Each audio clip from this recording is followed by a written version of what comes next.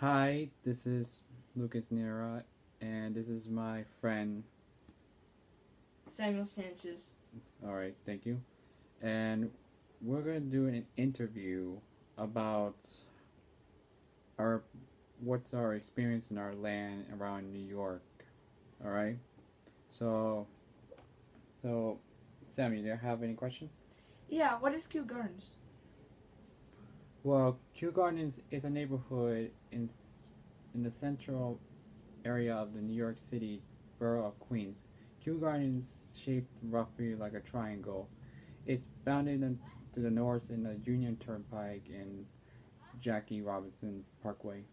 Kew Gardens offers historic architecture, winters, winning streets, and village environment. The neighborhood is completely planned out, but has an organic centuries old feel. Alright, that's pretty interesting. And why some of the transportation don't work anymore? Oh, some don't work because there's a lack of fuel to run the train. Some railroads have been abandoned because there were trees that fell down or didn't work properly during the time. Also, there were major accidents that already happened. On November 22, 1950, two Long Island Railroad trains collided in Kew Gardens.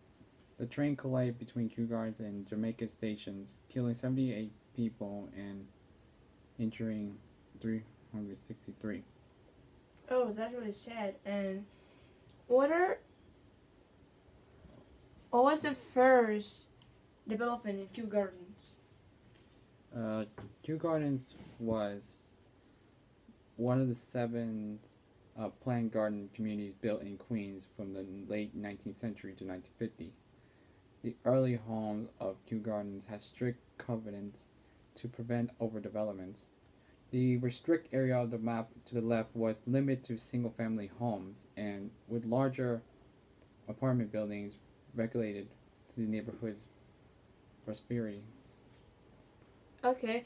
And what did and what did the what did the structure of buildings remain the same?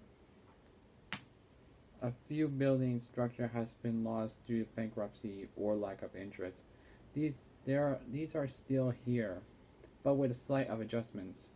For example, Austin Street underpass snakes below under Union Turnpike or Jackie Robinson Parkway, and what's once had a parkway style wooden lamppost.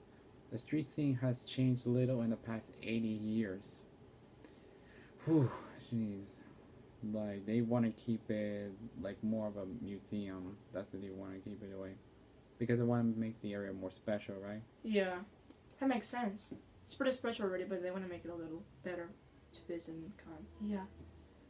Uh, the rest of the other buildings are still the same because it makes Kew Gardens feel more historical and unique, unlike other places around New York where they decide to change so much because they want us to keep on with the modern generation. Yeah, that's true. Um, but sometimes you have to respect the original creator for what they done. Otherwise, you're just basically, I don't know what you are. Yeah, it's pretty good to like keep your culture and your structures because it looks really like vintage and nice many times. And I really can't read that question. Uh. Who was the creator of Kew Gardens, New York, and why the person is interest, interested of, of making this? Why was the person interested of making this? Uh, Kew Gardens was designed by Richard Hill builder Almond Plattman and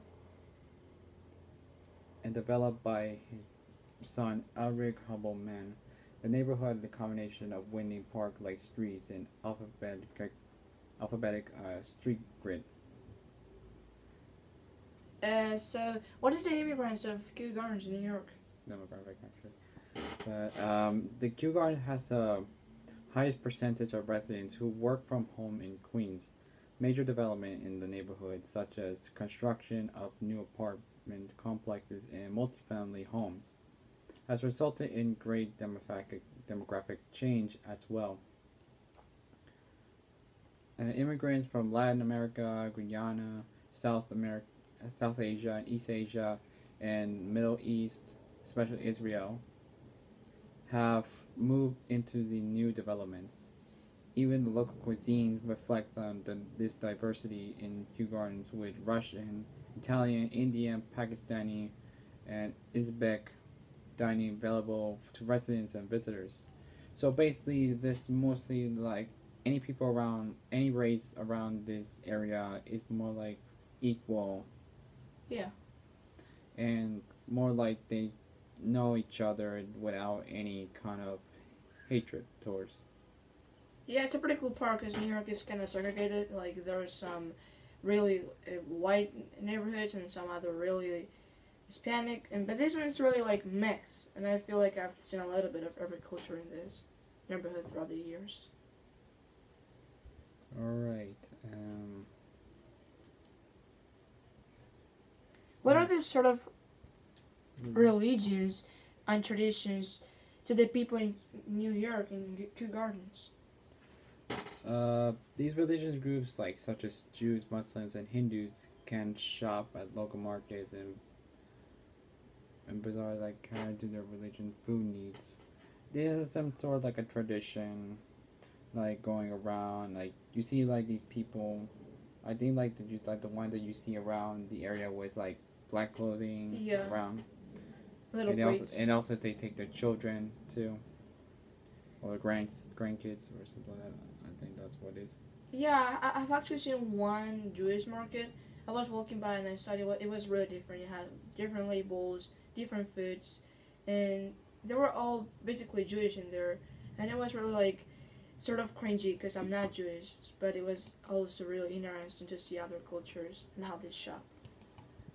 So what what gardens uh, are was your first choice of mm, living in New York, and how you feel how do you feel about your interest? How do you find interest on your it? interest. But uh, yeah, your interest. anyway, the reason why I picked the Kew Gardens in the first place was because um, we're trying to find my me and my parents. are trying to find a, a place where we can we can able to stay, and because most of the other areas they are kind of expensive, and we're trying to find one that is kind of cheap, and trying to rent an apartment, and well, the reason why Kew Gardens was my first choice of living is because the environment and society.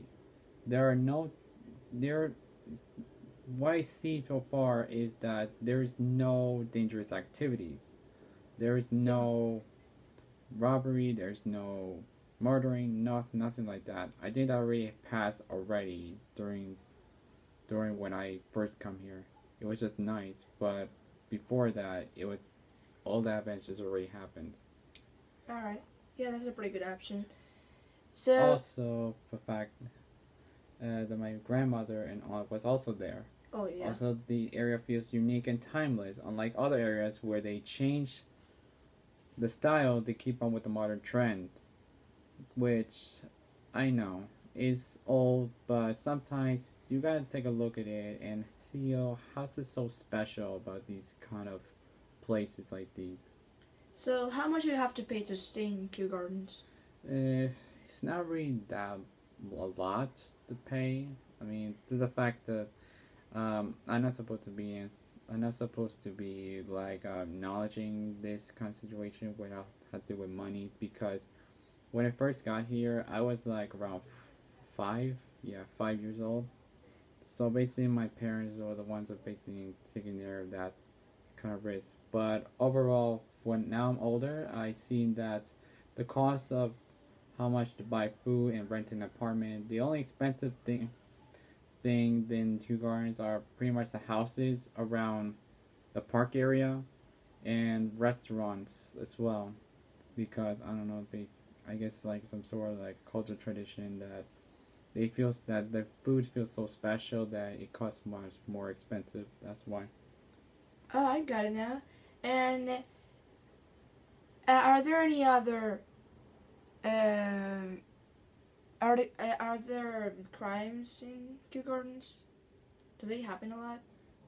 Well, for the for around like when I was around like when I come here in 2005, I think it's 2000, yeah, 2005. Um, well, Kew Gardens was usually was supposed to be kind of like unsafe environment, but usually that was in the past. In 2005, that didn't really happen. So Kew Gardens right now is basically has really like really low crime rate or very low crime rate. But before it was like um, it was not that much, just like reported like assault, robbery, and small murder charges. Okay, so that, that'll be it for this interview. So, it was yeah. good talk to you about Kew Gardens and how you, what, what you think about this neighborhood. And it's been pretty special. It's, it's been a pretty special part in your life, I can tell now. Yeah.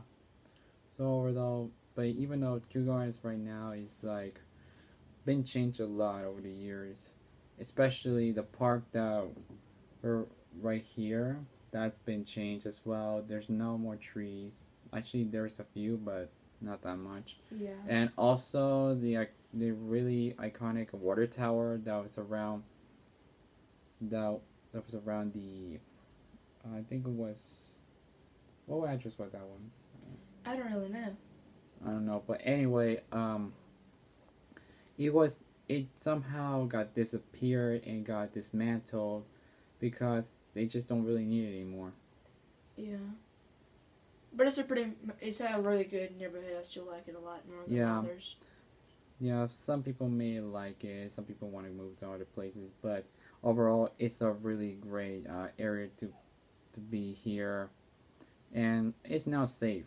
Actually, there's not a lot of problems around this area, over the just I don't know, just yeah. I feel really safe here. I can walk out at any time, and I, I don't feel like I'm gonna get mm, stolen or kidnapped or anything worse. I just feel calm, and it's just so nice. The vibes here feel so like chilly, and they don't feel unsafe. You just feel like you're home all the time. So, do you have anything else to talk about about this? No. I think we're done. Well, anyway, that's all we're here for today, and I want to say that if you ever like to be in Kew Gardens, just feel free to to show your reply. yeah. So anyway, thanks, and see you guys later. Bye.